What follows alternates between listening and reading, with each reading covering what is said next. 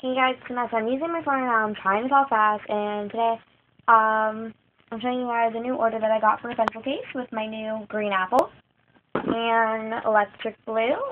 And so let me just get to it. Two dollars if you want. Alright. I hope you guys can tell. My phone is kind of charging, so if the cord gets in the way, like that. Okay, there we go. It has a bow. It is Ziploc, just to let you know.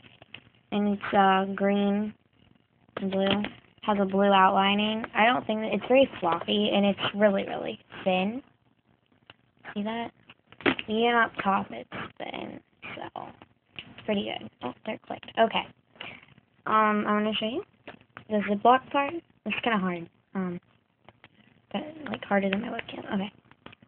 So it opens up. I can basically stick my hand but it fits pencils of any size, basically. But it's pretty big. Um, right here, this Ziploc. And I'm just gonna... You don't hear the clicking, but it's a really good Ziploc, so... Extremely thin, $2 if you want one. This is just one design that I do. And this, this is her little bow. She's not obsessed with bows like me, but whatever. It's all whatever. Yeah, comment, it's all whatever. Alright, that's one order.